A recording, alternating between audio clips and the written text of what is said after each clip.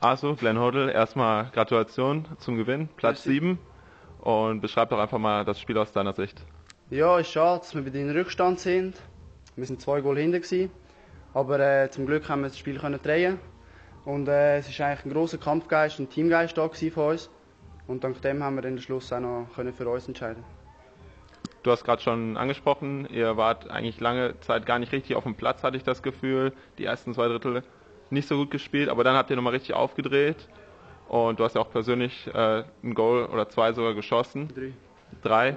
Und dann auch sicher verwandelt, die Penalties. Ähm, woran liegt das, dass ihr da nochmal so aufdrehen könnt? Ja, ich glaube, wir sind in den ersten zwei Drittel sind wir noch nie wirklich da gewesen. Ich weiß nicht, an was es gelegen hat, aber am Schluss haben wir dann zum Glück den Finger können rausnehmen und eigentlich unsere Klasse noch ein bisschen aufzeigen.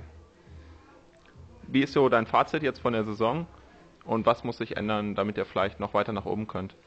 Ja, wir haben einfach dumme Spiel verloren gegen Xamax.